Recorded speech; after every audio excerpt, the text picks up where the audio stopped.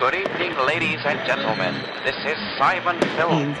To start a flame in your heart.